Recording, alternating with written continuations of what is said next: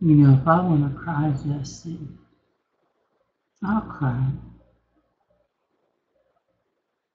I don't need your approval to do it. I wish I, I really wish I could have your approval. Just sometimes be myself. I know you think you're fancy because you fucking rub shoulders with somebody that's a billionaire. But I've rubbed shoulders with somebody too. And doesn't man. You think you're all special and shit. You ain't nothing. But a young boy ain't got no mind. And one day you're gonna see that. And this ain't nothing nobody can tell you to make any difference to you. You just gonna do what the fuck you've been doing.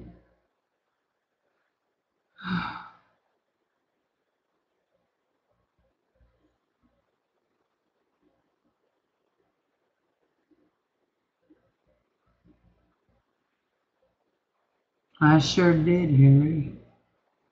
I sure did. Sherry, what's going on? Doing? Going on? I sure did, didn't I?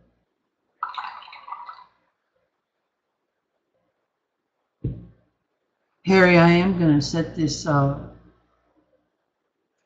computer in my bedroom and uh,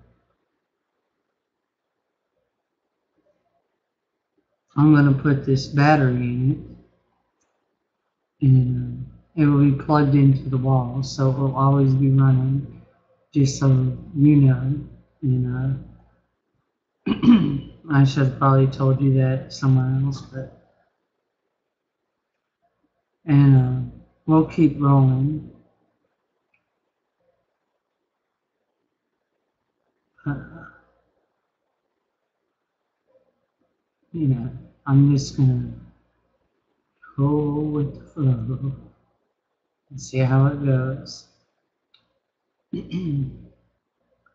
Aquila did it with style, something you will never understand.